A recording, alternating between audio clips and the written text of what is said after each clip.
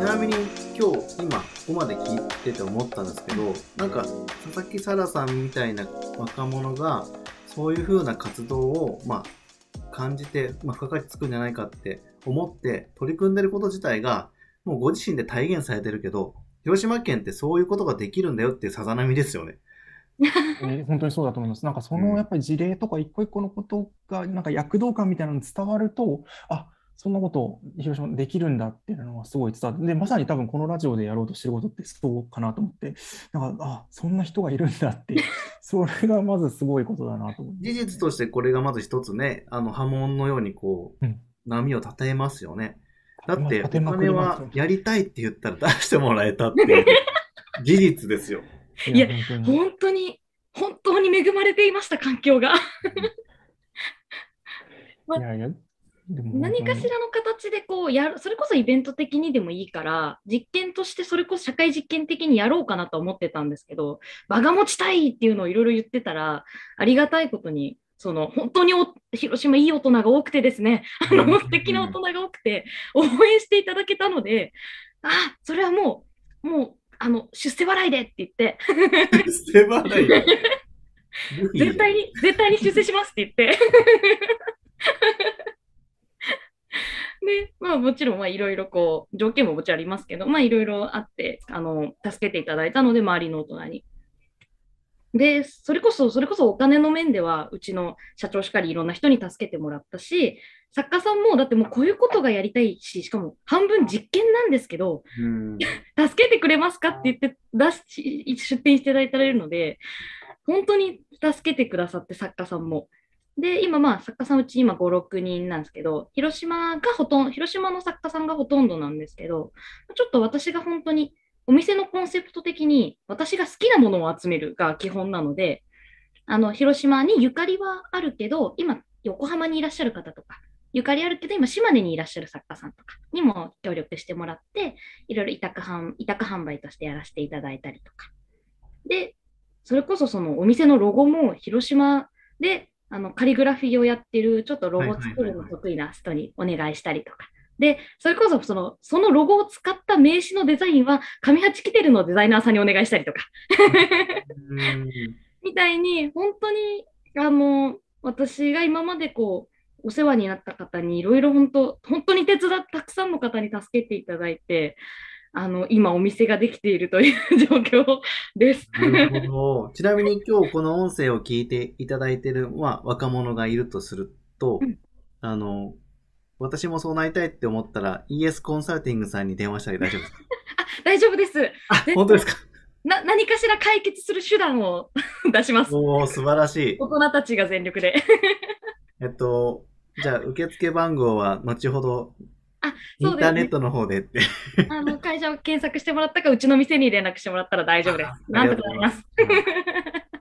広島のこれからチャレンジしされる若者の皆さん、ぜひ一度お話を聞いておくべきだと思いますので、ぜひ絶対電話してください。ぜひぜひ、若い人と話すの好きな大人たちしかいないので、こんな子採用するような会社なんで大丈夫です。いや、すごいな いや、すごい。でもね、なんか、さあちゃんのそのキャラクターもあるけど、やっぱこれまでね、なんか多分広島のいろんなところで、なんか本当に顔を出して多分活動してきたことが、なんか、つながってるっていうのを聞いてて思いますよね、なんか。いや本当に、あもう本当におっしゃる通りで、なんか私の感覚的には、今まで集めたカード切ってるみたいな感じなんですよ。なんかなるほどね。感覚的には、もうなんか、もうずっとこう、あ、こんなんかで自分ができる、それこそお金を出してこの人と仕事をしたいって考えてた人と全部仕事できたみたいな感じがちょっとあって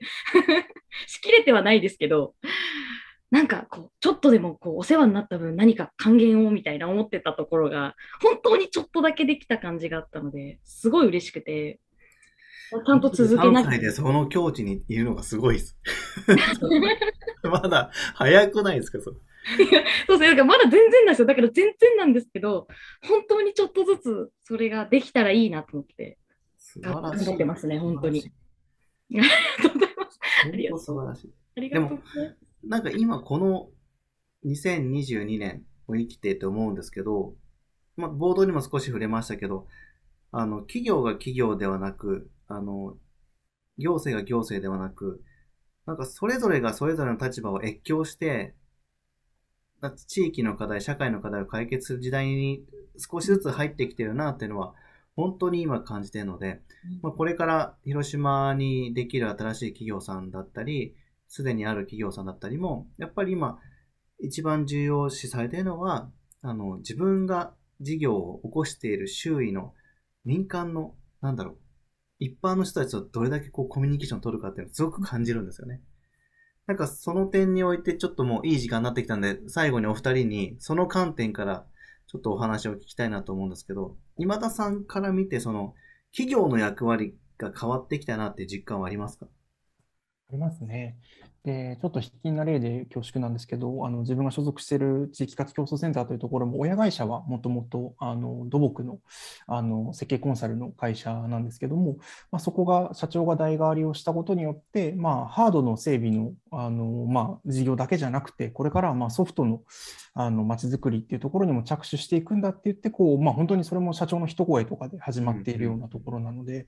で、まあ、佐々木さんの話聞いてても思いましたけど、まあ、なんか本当に意思決定一つで、あの社長の意思決定一つでその辺っていうのは結構変わっていくな。で、その時の、なんか多分、こう企業にそういう思いが出てくるのであれば、で、自社だけでは到底できないことなので、そこの時になんか接続する、まあ、なんか安村さんとかも多分やられてることともかなり近いんですけど、なんかその接続できるところのコミュニティだったりとか、あの集団みたいなのをどう豊かにしていくかっていうことも多分すごく大事で、なんか思いとかが多分今、まあ、時代的にもかなり、あのま、社長さんとか結構その会社のリソース持ってる人がそういう判断をするってことができてきている世の中だと思うので、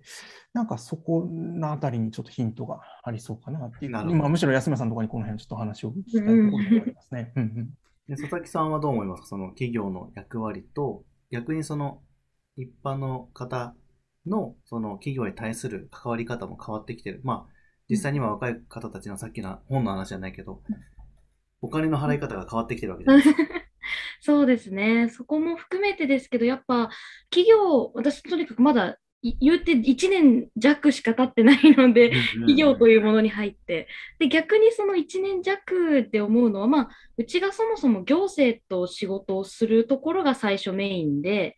で、えっと、どうしてもうちの営業形態的にこうフリーランスの集まり的な感覚があるので、それぞれがそれぞれにコミュニティ持ってたりするので、それこそ社長が、それこそそういう企業のパーソン的な、キーパーソン的な人が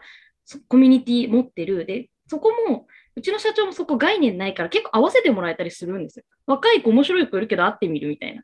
で、それでいろんなコミュニティがどんどんつながってって、どんどん垣根がなくなって、それこそそういう、こういうなんか、ちょっとうちみたいなちょっとこういう変な会社あるんだって 知ってもらえたりとか、で知ることでそれを私の多分役割的には、私が大学の時に持ってた、そういう街づくりのコミュニティだったり、そもそもここの世代のコミュニティと、今、今大学生の子たち、後輩の子たちと今いろいろ会って会ってもらうじゃないけど、いろいろつなげることもちょこちょこしていて、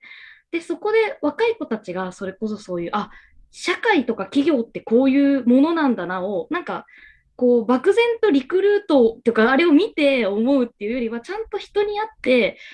もらうことで、なんか、こういうことがもっとできていくんだなとか、こういうこと自分思ってたけど、やりたいことできるんだなとか、こういう手段があるんだなみたいなことを、どんどん知ってもらう機会に今なっているので、私の近いところだと。うんあそれがあると、やっぱり、あの、県外で就職しようとか、そういうところしか選択肢がない今の大学生の状況に一石投じられますよね。いや、県内にももちろんいい企業あるし、こんな働き方もできるんですよ、みたいな事例になってるってことですよね。そうですね。だから、あえて広島を選ぶみたいな方が、ちょこちょこあると面白いなとは思いながら、もちろん出てもあれですけど、うん、なんかいろいろ企業の役割っていろいろある、なんか私が逆に今この絶妙な立場だからこそいろんなことができるなと思いながら、いや、本当でもまさにそうです。今からの企業は、佐々木沙羅さんみたいな人材をどれだけ雇用できるかっていうのをめっちゃ考えないといけないと思うんですよ。ありがたい。その地域で生まれて育って、地域の若者で感覚をこう集めながら、その地域にとどまって、かつ地域のことを考えられる人材なんて、あの、なんかありていによってその有名大学から新卒で採用してもすぐはできないわけですよ。うんその地域で育ったからこそ即戦力になるんですよね。うんそのジャンルにおいては。でもあれですよね、それ佐々木さんがね、就職ちょっと苦戦したっていうところもあって、それもなんかちょっと一つの勝査というか、大企業のところはなんかね、まださらちゃんにこうチャンネルが合ってなかったみたいな。そうですね。ちょっと今そこうん悩みましたね。大企業は大企業であればこそ、そこに気づいて動いてる企業もあれば、うんやっぱりそうじゃないとこもまだ確かにあるなと思いながら。うんうんうんでも、その価値に気づいてる企業は、やっぱり地域の人材の雇用と活用を大事にしてるし、まあ、そもそも地域のプレイヤーと呼ばれる方たちとの接点を持とうとされているので、なんかそのあたりが今後、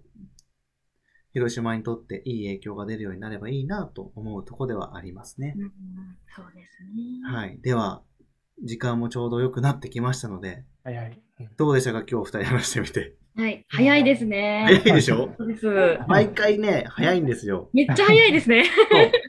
無理があるんですよ、この、あの、100は。本当に。本当あと3倍ぐらいいけそうですね。いや、いけそうですね。あでも、ここでちょっと引っ張り作っといて、あの、うん全員一周したら最後にみんなでもっと、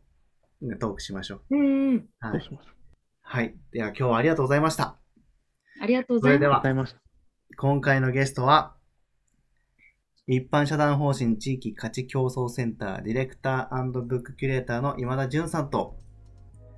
きなだけ店主、兼 ES コンサルティングです。コンサルティングの新入社員の佐々木沙羅さんでした。お二人ともどうもありがとうございました。また次回の放送でお会いしましょう。それでは、さようなら。